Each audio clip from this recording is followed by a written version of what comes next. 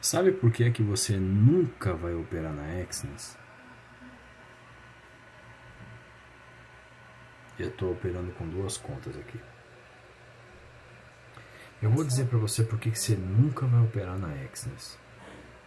Não é porque eu não quero que você vá operar na Exynos. Mas é por causa disso aqui.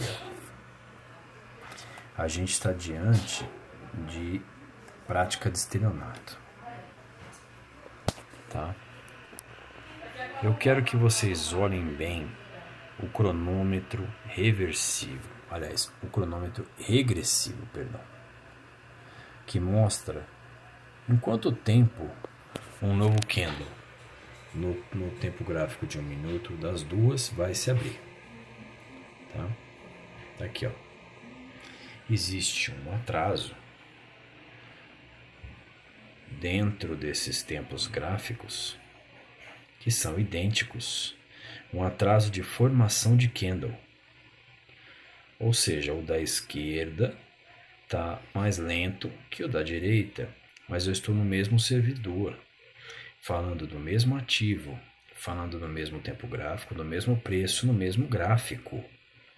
Cara, isso aqui é prática de estelionato, é um absurdo isso aqui. É por isso que você não vai operar nessa empresa. Você não vai operar na Exnes porque lá se pratica fraude. Porque lá o gráfico, o ticker, o spread, até o cronômetro regressivo de contagem de vela e surgimento de novas velas, ele é adulterado. Por isso você não vai operar na Exnes. Se você tem dúvida se são duas contas, aqui ó final 75, final 79 da conta real. Ok? Tá bem claro para você aí, dá para ver a diferença? 10 segundos, agora 20 segundos de diferença. É um absurdo, né? E você põe seu dinheiro aqui, cara. E você põe o seu dinheiro aqui. Olha isso. O outro, o outro já começou, enquanto o da direita ainda nem, nem iniciou. E a vela já começou nos dois, hein? A vela já começou nos dois.